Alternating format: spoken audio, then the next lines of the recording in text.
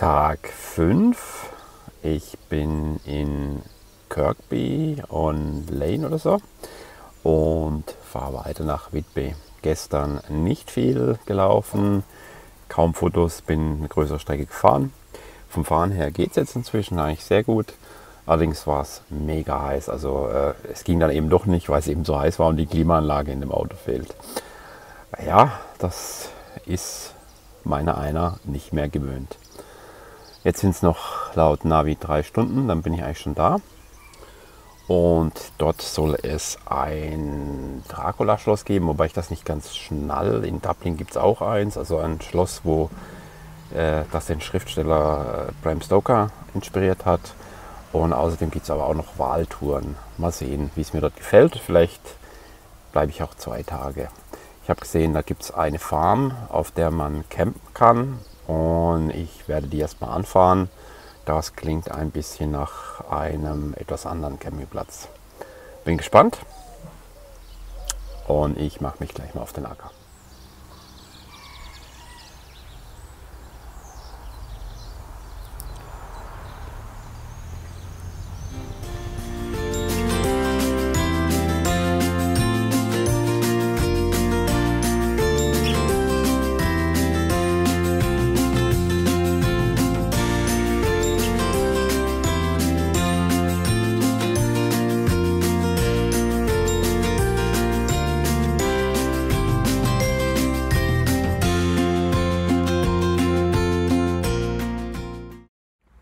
Mittagspause.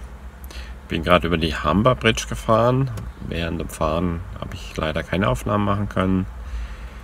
Die ist recht beeindruckend. Also erinnert schon so ein bisschen an die Golden Gate. Äh, wobei ich die nie in echt gesehen habe, aber von der Bauweise her ganz interessant. Überspannt ein, äh, eine Bucht, also einen recht großen Teil. Das Meer sieht da sehr rötlich aus. Keine Ahnung, woran das liegt. Ja, die Kühlbox braucht ein bisschen viel Strom, aber immerhin ist es so, dass äh, sie während der Fahrt problemlos betrieben werden kann und auch noch so, wenn es äh, jetzt also während der Pause, das geht auch. Die hängt an der Zusatzbatterie. Ähm, ist einfach so, dass sie die ganze Nacht nicht durchhält. Zumindest wenn ich zusammen dann noch andere Sachen laden mit. Ja, jetzt gibt es erstmal was Feines. Ein bisschen was habe ich noch. Sieht aber schon sehr überschaubar aus.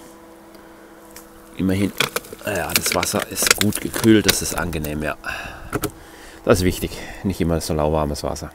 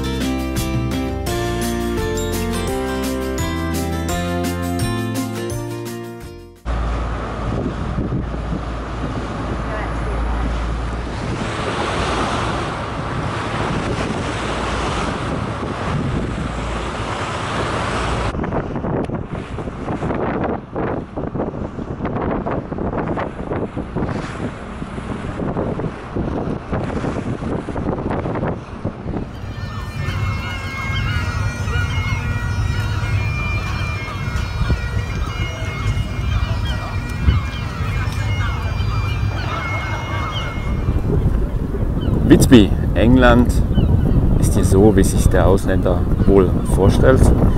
Dementsprechend ist es auch ziemlich touristisch überlaufen.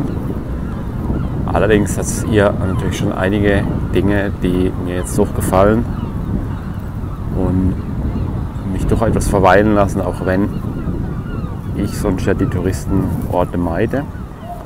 Jetzt muss ich mal noch den Wahl, den Wahlausflugsdampfer finden und dann für morgen mal hoffentlich eine Tour buchen.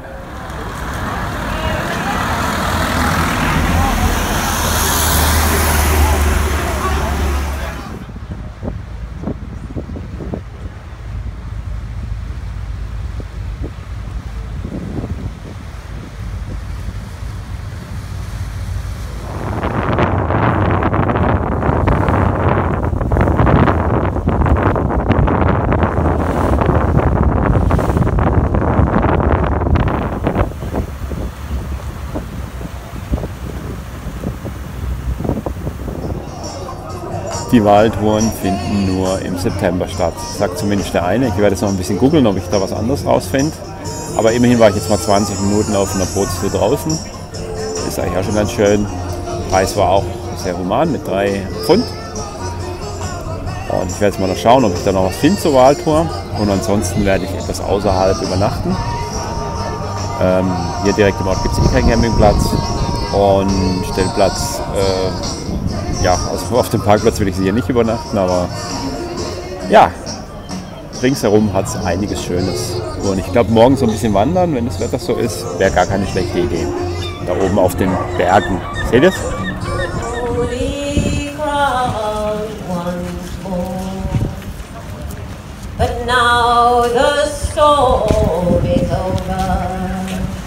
And you are safe. So, ich bin immer noch in der Nähe von Whitby.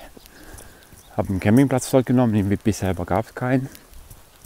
Äh, der ist überfüllt und mache mich jetzt auf den Weg zu diesem alten Schloss, um vielleicht ein paar Dämmerungsaufnahmen zu machen. Ich glaube, für Nachtaufnahmen bin ich zu faul. Ich bin einfach zu müde abends.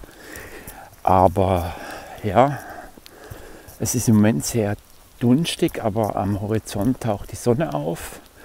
Insofern könnte das noch was werden. Was leider nichts wird, ist eben die Wahltour, weil die Wale, die sind nur im September zu sehen und da fahren die eben nicht raus.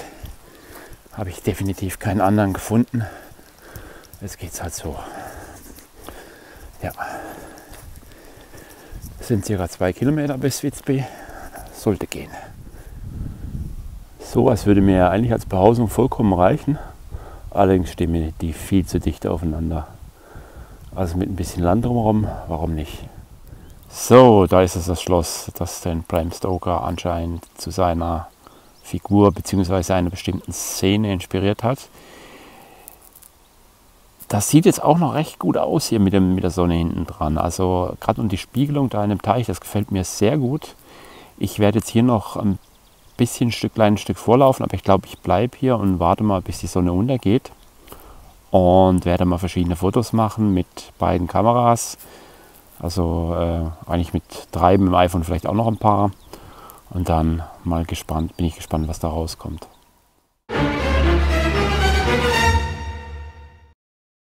Wenn euch das Video gefallen hat, freue ich mich wie immer über Likes und Abos. Den ausführlichen Reisebericht findet ihr auf meiner Website lars-schlageter.com.